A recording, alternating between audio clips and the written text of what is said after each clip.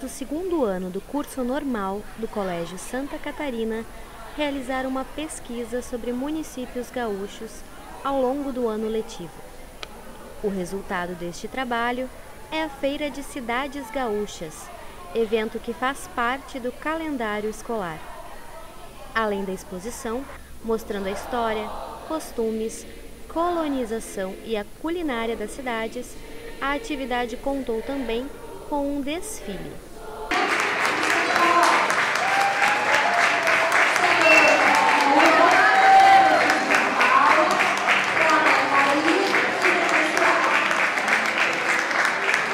Cada aluna representou um município escolhido e explicou aos demais alunos e visitantes sobre as curiosidades de cada região.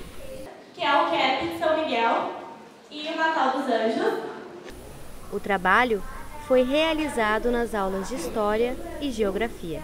As nossas alunas escolhem uma cidade do Rio Grande do Sul porque dentro da disciplina de História e Geografia da segunda série do ensino médio, do curso normal, desculpa, a gente estuda o Rio Grande do Sul. Então elas escolhem essa cidade, fazem a pesquisa onde entra aspectos socioeconômicos, culturais, históricos e dessa pesquisa nasce então a exposição e o desfile para socializar os conhecimentos.